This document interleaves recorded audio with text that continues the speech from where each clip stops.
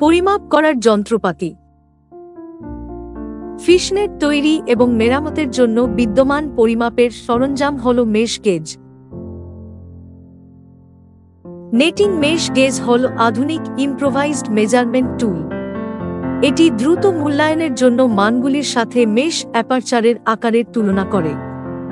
এটি সুনির্দিষ্ট জাল পরিমাপ নিশ্চিত করে। জেলেদের ন্যূনতম জাল আকারের জন্য নিয়ন্ত্রক প্রয়োজনীয়তা মেনে চলতে সহায়তা করে।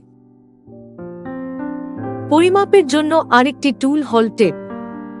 টেপ পরিমাপের সরঞ্জামটির সাধারণ প্রস্থ শূন্য থেকে দুই শূন্য মিলিমিটার এবং দৈর্ঘ্য এক শূন্য থেকে দুই শূন্য মিটার। টেপ পরিমাপ সাধারণত ইস্পাত এবং ঘূর্ণায়মান ধরনের হয়।